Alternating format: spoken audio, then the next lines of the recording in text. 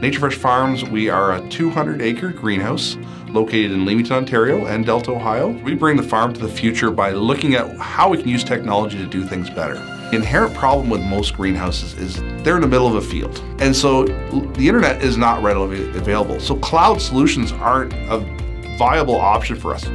Our edge strategy is really getting the information as close as possible to the plants so that everything's done in real time.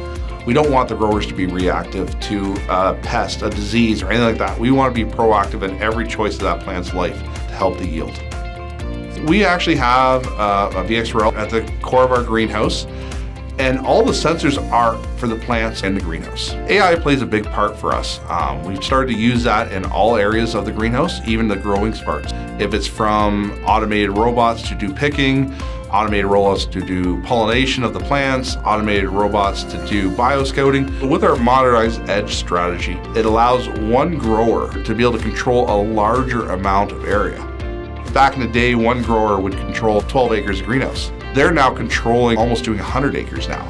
So it allows us to actually do a lot more with less. The joy of having the edge compute out there is we're able to kind of consolidate what comes to our data center.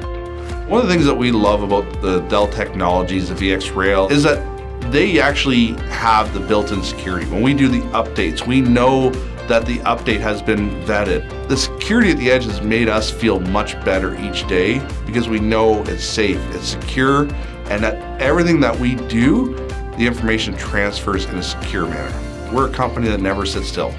We're always changing direction, we're always doing something different. In the future, we're looking at using 5G to monitor our trucks in real time and allowing that information to pass to our edge compute right away instead of being passive from the field.